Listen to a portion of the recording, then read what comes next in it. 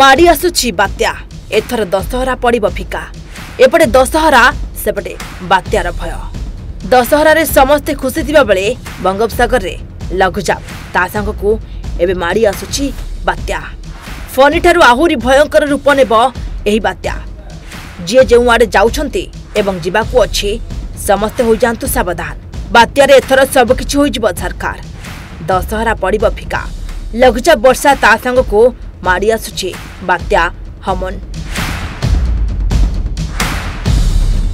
ଦଶହରା ଫିକା ପଡ଼ିବା ସହ ଲଘୁଚାପ ବର୍ଷା ତା ସାଙ୍ଗକୁ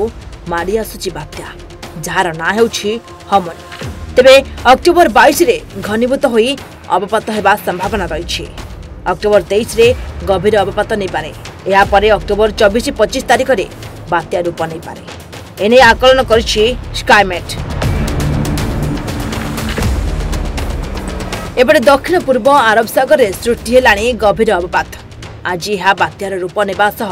ଆସନ୍ତାକାଲି ଭୀଷଣ ବାତ୍ୟାର ରୂପ ନେବ ବାତ୍ୟା ତେଜ୍ ଦକ୍ଷିଣ ଓମାନ ଓ ପାର୍ଶ୍ୱବର୍ତ୍ତୀ ୟୁମେନ୍ ଉପକୂଳ ଅତିକ୍ରମ କରିବ ତେବେ ଏହାର ପ୍ରଭାବ ଓଡ଼ିଶା ଉପରେ ବିଶେଷ ରହିବ ନାହିଁ ତେଇଶ ତାରିଖ ରାଜ୍ୟର ଉପକୂଳ ଜିଲ୍ଲାର ବିଭିନ୍ନ ଅଞ୍ଚଳରେ ହାଲୁକା ବର୍ଷା ହୋଇପାରେ ବୋଲି ପାଣିପାଗ କେନ୍ଦ୍ର ପକ୍ଷରୁ କୁହାଯାଇଛି ଅନ୍ୟପଟେ ଆସନ୍ତା ଚାରିରୁ ପାଞ୍ଚ ତାରିଖ ମଧ୍ୟରେ ରାଜ୍ୟର দিন ও রাতে তাপমাত্রা বিশেষ পরিবর্তন সম্ভাবনা রয়েছে যদি বঙ্গোপসাগরে বাত্যা সৃষ্টি হুয়ে তেবে তার না রহব হমন হলে ওড়শার বাত্যা নেই আইএমডি কৌশি আকলন করে না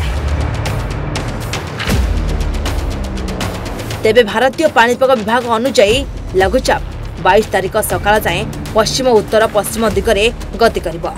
ଏହାପରେ গতি বদলাই উত্তর উত্তর পূর্ব দিগরে বাংলাদেশ ଉପକୂଳକୁ মুহাইব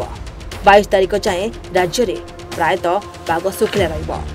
ତେଇଶ ତାରିଖରେ ଉପକୂଳ ଓଡ଼ିଶାର କିଛି ସ୍ଥାନରେ ହାଲୁକାରୁ ମଧ୍ୟମ ଧରଣର ବର୍ଷା ହୋଇପାରେ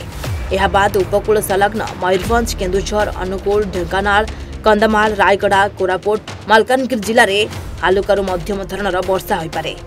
ବାକି ଅନ୍ୟ ସବୁ ଅଞ୍ଚଳରେ ପାଗ ଶୁଖିଲା ରହିବ ବ୍ୟୁରୋ ରିପୋର୍ଟ ଓଡ଼ିଶା ଭାସ୍କର